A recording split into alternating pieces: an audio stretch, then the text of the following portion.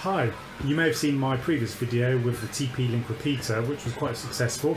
I managed to get internet at the rear of the garden but as always my brain constantly ticks away and I was wondering whether I could possibly improve on this and I came up with the idea of using a spare power line adapter that I've got lying around and also an old Netgear N150 router.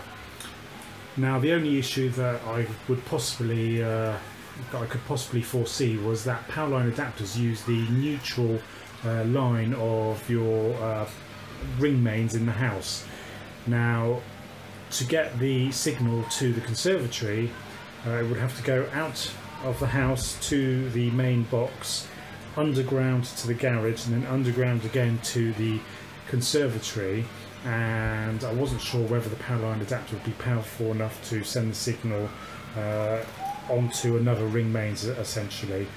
Uh, so I gave that a go, uh, connected that to an N150 uh, router and the results were reasonably good so let's have a look. Well there is the power line adapter plugged into the conservatory and that is picking up the signal from the other power line adapter in the house. There is the old Netgear N150 router so it's all plugged in so let's go to the back of the garden and let's see if we get better results than the old TP-Link repeater. Right, so we're at the back of the garden and I'm about to do the test. So here we go.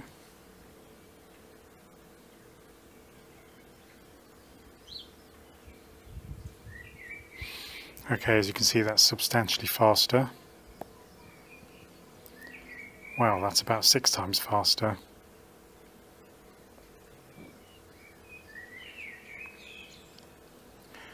and my upload speed is pretty much the maximum of what Virgin is offering me anyway so there we go I think that's a huge success so if you've got a spare power line adapter and a cable modem it's probably a better bet than a Wi-Fi repeater in my opinion. Hope this helps someone out there. Cheers. Bye bye